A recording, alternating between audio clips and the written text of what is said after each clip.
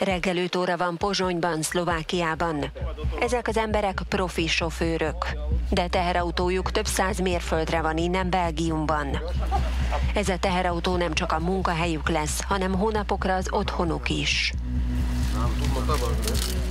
The model that the road transport sector is following more and more is uh, companies from the West opening uh, fictive subsidiaries in countries with low income. They recruit drivers, they bring the drivers to work on permanent basis in the country of, so to say, origin of the business. And this is how they use the advantages offered by the internal market. A sofőrök fizetése bruttó 700 euró havonta. Ez több, mint amiről valaha is álmodhattak volna, de csak mintegy egyharmada annak, amit nyugat-európai kollégáik ugyanazon munkáért keresnek. Many drivers of the new member states, they feel that they are discriminated on basis of nationality. Belgiumban a szállítmányozási dolgozók szakszervezete figyelemfelkeltő kampányt indít a kelet-európai járművezetők által okozott, szerintük tisztességtelen verseny miatt. It's important that these people are getting paid what they deserve to be paid. Uh, they pushing out out of the market. The only way to stop this is make sure that they get the same wages as we do, so we can keep working and they can keep working on a decent wage. A kelet-európai vezetők diszkriminációnak érzik, a nyugatiak pedig fenyegetőnek. Útra keltünk, hogy megtudjuk, mi is történik az európai közúti szállításban.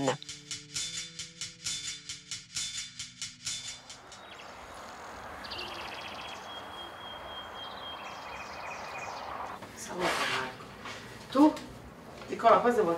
Mi chiamo Sergian Gruic, eh, Sergio. Sono un autista di linea internazionale, eh, sono sposato, ho quattro figli, ho 43 anni, sono nato nel Montenegro, poi all'arrivo della guerra decido di, di venire in Italia.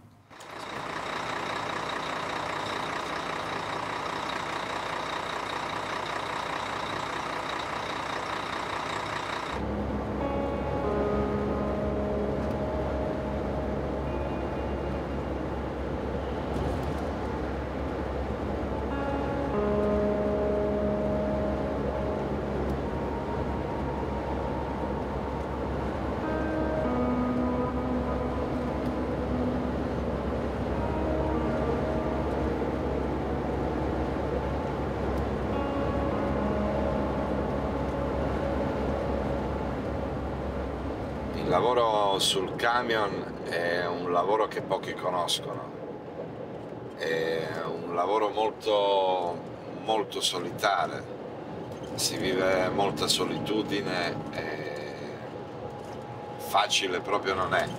Si sta fuori per una settimana, il weekend se tutto va bene si rientra a casa. È un lavoro che porta molti sacrifici, affetti, eh, vicinanza alla famiglia, ti dimentichi le date, compleanni, feste, non ci sei mai, non vivi quelle emozioni familiari che sono molto importanti.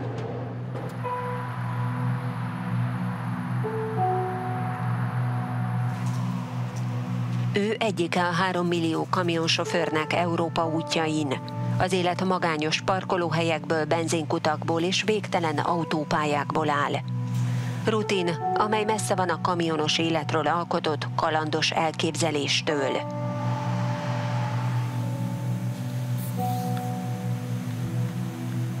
Viaggiare, dicevo, è molto bello, quando lo dici agli altri pensano che hai tempo magari di vedere le bellezze di un paese o magari quando gli dici che sei stato a Parigi immaginano che sei andato già magari a vedere la Tour d'Eiffel. Eh, io ci lavoro da dieci e passa anni e non l'ho ancora vista. La mia più grande preoccupazione è il lavoro, eh, il trasporto. Hanno consentito un'apertura delle frontiere senza monitorare un settore come trasporto. Cioè, eh, noi eh, in Europa abbiamo le diverse realtà che possono variare da 280 euro di uno stipendio eh, fisso di un autista bulgaro a 330 di quello rumeno, eh, 1.800 quasi 2.000 euro di quello lussemburghese, 1.500 quello italiano. Eh, insomma non si può lavorare in queste condizioni. The road transport is a service. So um, the European, the, the road transport operators were more and more interested to offer a cheap service, and labor costs, of course, account for the largest uh, percentage within the cost of transport, so to say. So the interest was always to keep the labor cost down or to get it um, down. And with the access to, so to say, a lower wage level uh, member states uh, access to their workforce, this was possible. This is social dumping. A szociális dömping, vagyis a rosszabb munka és a társadalmi normák felhasználása a versenyképesebb étel érdekében elterjedt az európai közúti szállításban. És a teherautó vezetők viselik a következményeket. Általánosságban úgy vélik, hogy ez az Európai Unió 2004-es Közép- és Kelet-Európa felé való bővítésével kezdődött. Ez azonban nem teljesen igaz.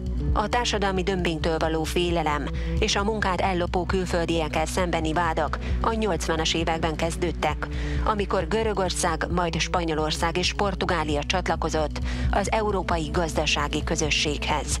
Ugyanakkor a nemzetközi közúti szállítást fokozatosan liberalizálták. Az 1990-es évek végére teljesen szabályozatlanná vált, és nyitottá vált a verseny számára egész Európában. Azóta okoz a társadalmi dömping kérdése fejfájást az európai intézményeknek, és szélesíti a szakadékot Kelet- és Nyugat-Európa között. Az Európai Parlamentben a képviselők gyakran összekülönböznek a munkavállalók védelmének legjobb módjáról. C'est quoi le dumping social Il n'y a pas de définition tant telle, mais tout le monde sait que le dumping social, ce n'est rien d'autre que l'exploitation des salariés par certaines entreprises aux pratiques injustes. Et c'est l'un des enjeux, je vous le dis, c'est l'un des enjeux qui mine le projet européen dans son ensemble. Si nous sommes incapables, durant cette mandature, de régler la question du dumping social, c'est la fin du projet européen. The freedom of movement of services and workers, however, has enabled the low wage countries to build up their economies. And as a result, also the salaries in these countries have risen, very naturally.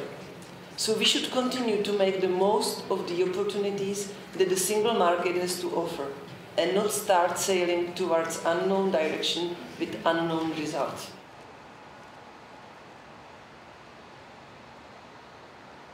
I like to drive. I like to drive. I like to drive big trucks. And I like to travel. I work for two months or three months. And after that, I go home for, uh, for one month. I meet few of my colleagues, few. We cook together, we eat together, we drink one beer, maybe two, who knows, if we have. And after that, I'm going to my cabin. Depends which weather it's outside. I try to spend some time till I'm going to sleep.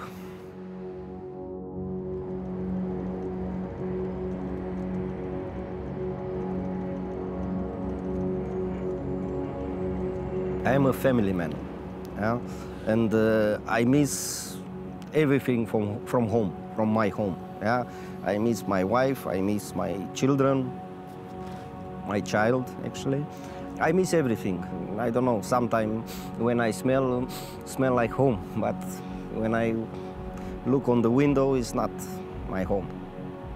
Yeah, it's very hard, it's very hard to be away from your family. But I have money to have a decent uh, life. So what if I am from Eastern Europe? If I remember correctly, in 1940, uh, two guys, Ribbentrop and Molotov, cut the Europe in two. Yeah? They write on the paper Eastern Europe, Western Europe. Before that, Eastern Europe don't exist. Yeah, it was one Europe because that two stupid people, how I told you, Ribbentrop, Ribbentrop and Molotov, yeah, they signed and cut the Europe in two. And look, 70 years ago, we still suffering about that.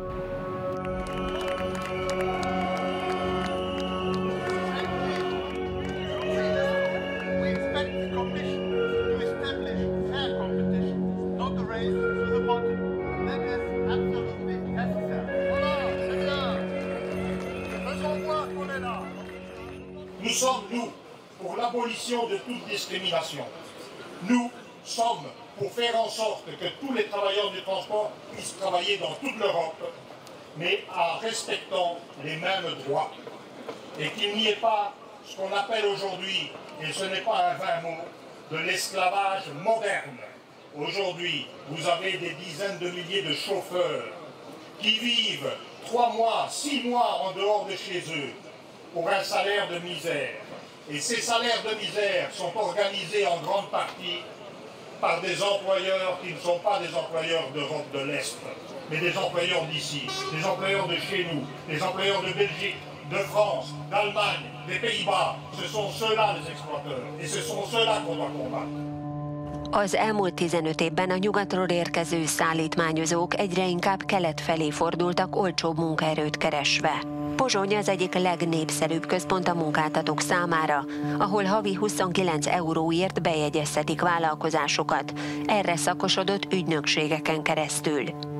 They have a, a, a base with the trucks somewhere here. Uh, no, no. Uh, Slovak uh, law for, for, for Slovak uh, database of companies. Each company need uh, seat, registered seat, and I own this building, and I give uh, all of these uh, companies uh, paper. It's only only virtual seat here. Yeah. So it's like He a letterbox company. Yeah.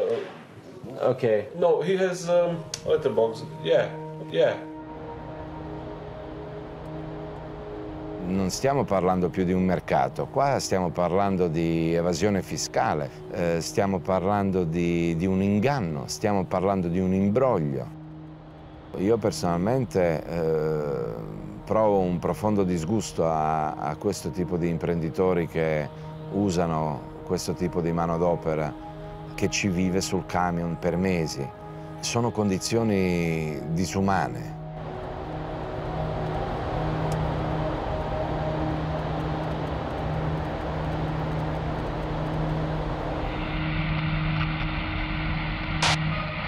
Eerst een dodelijke brand in een loods in Wingenen. Twee Poolse chauffeurs blijven in de vlammen, vier anderen zijn gewond. Officieel verbleef er maar één persoon in die loods, maar in werkelijkheid logeerden er elf Poolse chauffeurs die rijden voor een transportbedrijf in de buurt. Rond drie uur vannacht schieten de Poolse truckers wakker. De loods waarin ze slapen staat in brand. De vlammen slaan al door het dak als de brandweer van Wingenen arriveert. Negen Polen die er wonen raken op tijd naar buiten. Maar al snel is duidelijk dat er nog mensen binnen zitten. In deze zaak zijn wij van oordeel dat er inderdaad mensenhandel, sporen van mensenhandel aanwezig zijn. Meer algemeen in de transportsector zijn wij van oordeel als mensen moeten kamperen, als zij maandenlang van huis zijn, als zij niet goed betaald worden, ja, dan zijn er voldoende elementen om, om te spreken over mensenhandel. Als men moet slapen in een loods, ehm, dan zijn er volgens ons elementen van mensenhandel. Dus meer algemeen ehm, vinden wij dat de menselijke waardigheid in het gedrang komt. En dit leidt tot het misdrijf mensenhandel.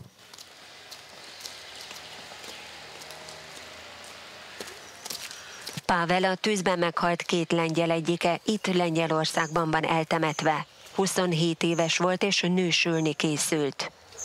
Nyolc évvel később Pável anyja továbbra is válaszokra vár. Senkit sem vontak felelősségre a tragédia miatt. Pawła jako młodego, sympatycznego chłopaka, wesołego, bardzo pomocnego. Takiego, który nie potrafił komuś odmówić. Jeżeli go ktoś o coś poprosił, Pawełek nie odmówił. nigdy po sobie nie pokazywał, że nie jest zadowolony. Nigdy tego po sobie nie pokazał, więc ja nie wiedziałam, co tam się dzieje. Dowiedziałam się dopiero, jak pojechałam już po, po ciało mojego dziecka. Zobaczyłam, jakie są tam warunki, jak wyglądał budynek. W Polsce jest duże bezrobocie, są niskie płace. I Polacy, młodzi ludzie, szukają czegoś lepszego, lepszego startu w życiu. Jeżeli w Polsce szuka pracy, prawda, i nie może jej znaleźć, lub pracuje za tysiąc ileś złotych, to jak on ma później y, założyć rodzinę, utrzymać tą rodzinę? To tam zarabia więcej, zaciska zęby i pracuje. Vajon a dolgozók kizsákmányolásában csak a vállalkozások a hibásak? Mi a helyzet a gyártókkal, a forgalmazókkal és a logisztikai vállalatokkal, amik a szállítást rendelik? Nem kéne nekik is megbizonyosodniuk arról, hogy minden vállalkozó tisztességes munkakörülményeket és bért kínál? Az uniós jog előírja, hogy a járművezetőre azon ország munkaügyi előírásait kell alkalmazni, ahol a sofőr a legtöbb munkát végzi. De hogyan lehet ezt hatékonyan alkalmazni, amikor teherautók milliói járnak egy nyitott határokkal rendelkező kontinensen, amikor a végrehajtás a kormányokhoz tartozik, és amikor egyre több kamionost toboroznak az Európai Unión kívülről?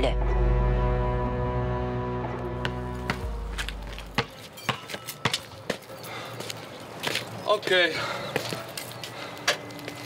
Thank you very much. I am Michael Jordan. Filipino truckers from Europe. Filipinó sofőrök az európai utakon. A cégek akár eddig is hajlandóak kiterjeszteni a kerestést a munkaerő költségek csökkentése érdekében, az emberek jólétének kárára. Ezek a sofőrök egy évet töltenek teherautójukban. Több száz napot dolgoznak, esznek és alszanak négy négyzetméteres kabinjukban. That is my house.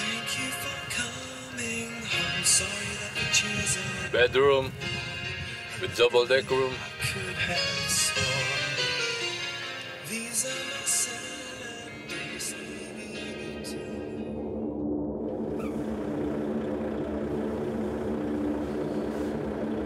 Az őt is foglalkoztató céget Lettországban alapította egy svéd állampolgár, aki sofőröket toborzott a Fülöp-szigeteken azért, hogy szinte kizárólag Nyugat-Európában alkalmazza őket. Miért Lettország? Talán azért, mert az Európai Unióban itt van a második legalacsonyabb minimálbér. I spent 12 months on the road, and after 12 months, uh, I take my vacation to the Philippines. Mm, after after 45 days, I just coming back to sign an- another contract. It's 670 euros per month, but we have uh, 20 euros per day for for meal allowance. Do you think it's a good salary for what you're doing? Yes, for me, it's good salary for me because it's it's a big money for for the Philippines for my family. It's it's a big money. It's big help for my family.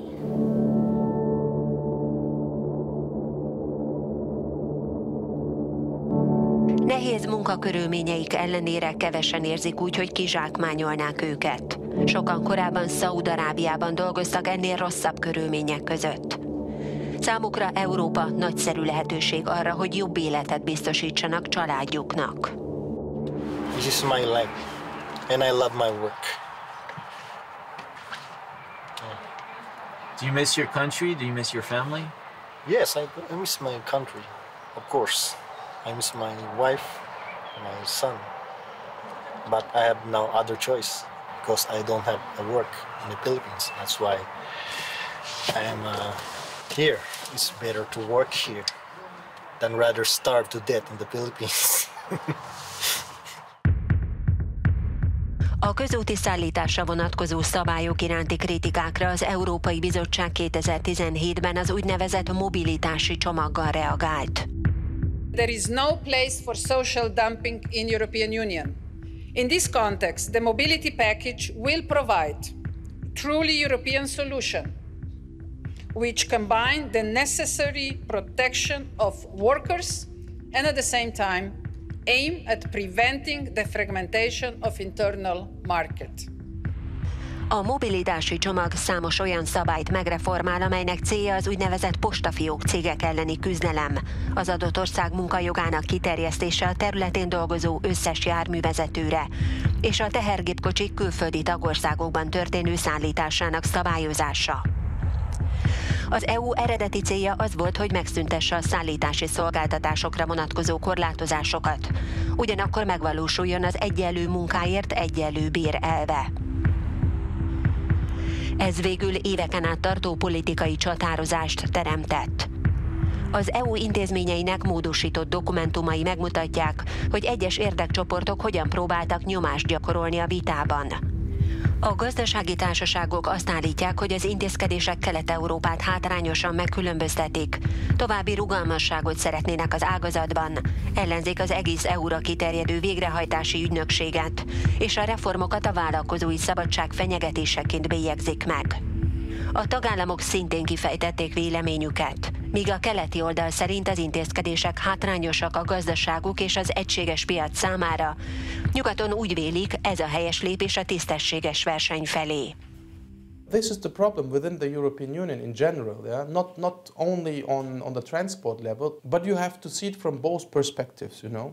As I have spoken at that time uh, with, the, with the Bulgarian uh, minister, he told me, look, if you do your legislation how as you wish, this will increase the voices of your populists in my member state. Then I responded him, if I don't do that, it will increase the voice of the populists in my member states. Truck drivers from Eastern European countries have Európa szállítási dolgozói megosztottak. A kelet-európai járművezetők úgy vélik, hogy a magasabb társadalmi előírások alkalmazása veszélyeztetheti a piacra való jutásokat.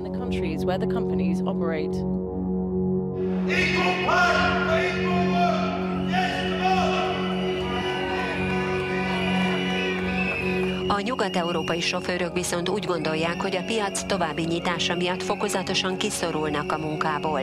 Végül is minden a munkáról szól. Amit egyesek protekcionizmusnak látnak, azt mások szociális jognak tekintik. Az egyik versenyelőnye, a másiknak tisztességtelen verseny. The freedom to, to work wherever you wish, of course we want to see that continue, but not at any cost. And whilst the standard of living may be cheaper in the East, that doesn't mean that those drivers who work in the West for Western countries and Western companies should be exploited. If you're working in Western Europe for a Western company, you should be paid Western European wages. We would all love German wages. We don't have them. Don't kill the countries that support Europe the most with this horrible, horrible directive. Drivers are not second class workers in this union. They deserve exactly the same rights when it comes to posting like all other workers in the EU. This is not the time to put at risk the internal market and therefore growth and jobs. And many of the amendments are doing exactly that. Votre démarche est politiquement dangereuse, car la réponse des peuples à la jungle sociale, c'est la colère.